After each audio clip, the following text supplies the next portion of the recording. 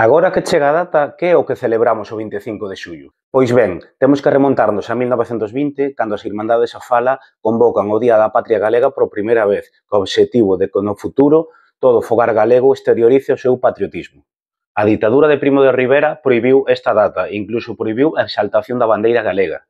Coa chegada da Segunda República normalizouse a celebración desta data De feito, o miti das arengas de 1934 foi quen lle deu un novo pulo. Con todo, a prensa da época criticaba fortemente esta celebración por considerala unha festa antiespañola. Chegou o franquismo e cortou de raíz esta celebración. Se ben é certo, nos anos 50 comezaron a celebrarse algunhas misas en homenaxe a Rosalía o propio 25 de xullo. Bon, hai que aclarar unha cousa, esta data non desapareceu, senón que se seguiu a celebrar na migración. O 25 de xullo de 1968, a UPG impulsou a data cunha convocatoria en Compostela, cidade que amenceu tomada pola policía militar que usaría a violencia para evitar calquera exaltación, mas a data xa era imparable grazas ás campañas previas por todo o país.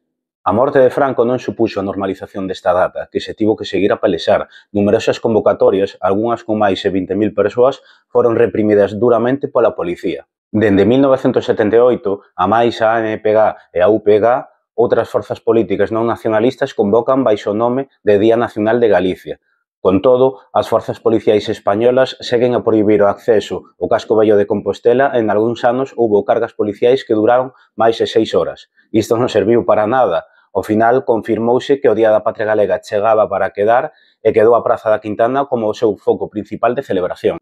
Hoxe é unha data oficial, festiva, que celebra a inmensa parte do pobo galego e que é coñecido oficialmente como Día Nacional de Galicia e popularmente como Día da Patria Galega. Importante antes de rematar, a data estivo a debate durante moitísimos anos, xa que había unha parte que propoñía celebralo o 17 de decembro, que coincide co Día da Decapitación do Mariscal Pardo de Cela.